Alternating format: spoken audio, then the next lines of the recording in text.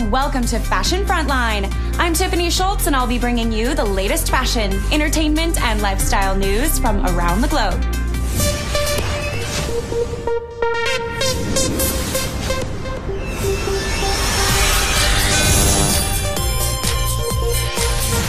French designer Jean Paul Gaultier has announced his upcoming ready to wear show during Paris Fashion Week on September 27th will be his last because he wants to exclusively focus on couture, beauty, and other projects.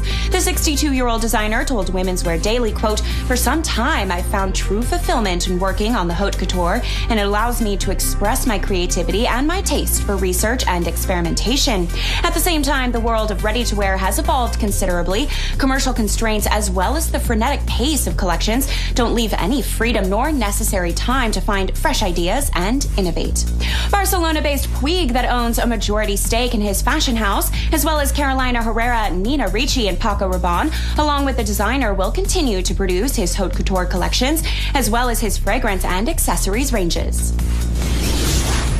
According to InStyle magazine, the team behind Frozen, the highest grossing animated film of all time, is collaborating with Disney Consumer Products and wedding and bridesmaid gown designer Alfred Angelo to release a dress inspired by the Snow Queen of Arendelle, which will be available in January 2015 at the bridal retailer store and website. Alfred Angelo's chief creative officer, Michelle Piccione, who designed the dress, told the publication that, quote, a character like Elsa is a huge inspiration for any designer. She is beautiful and elegant, and her inner beauty shines through when she is ultimately not afraid to embrace who she is with confidence and poise.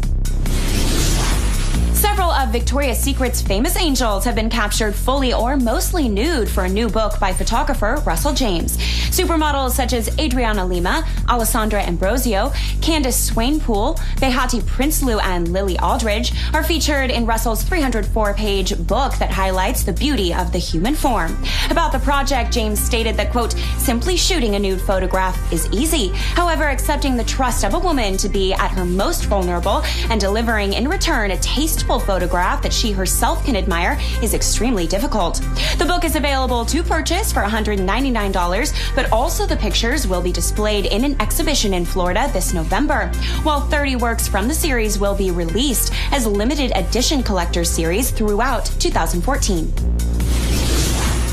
Last week during London Fashion Week, British fashion designer Stella McCartney launched her green carpet collection at the Royal Institution of Great Britain in Mayfair with a special showcase. The three part ethical offering includes one part comprising four ball gowns made of leftover fabric from her studio, a range of shoes and accessories made from sustainably recycled materials, and a collection created from a brand new organic cady that McCartney has developed.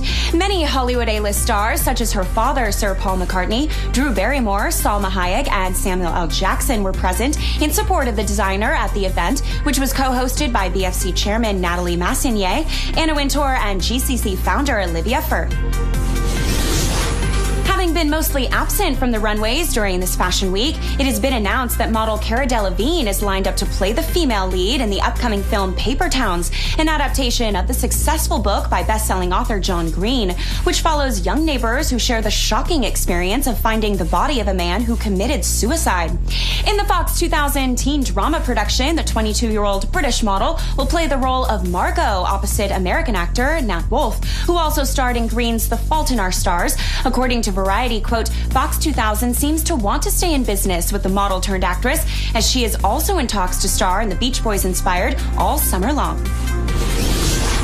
According to Us Weekly magazine, multiple sources have confirmed that Hollywood actors Ava Mendes and Ryan Gosling have welcomed a baby girl on Friday, September 12th. Back in February, the 40 year old actress who kept a low profile during her pregnancy denied any pregnancy rumors during an appearance on The Ellen DeGeneres Show, but it was later said in July that she was seven months along with her pregnancy. Although the couple who first began dating in 2011 after co starring in The Place Beyond the Pines never officially confirmed or denied the news.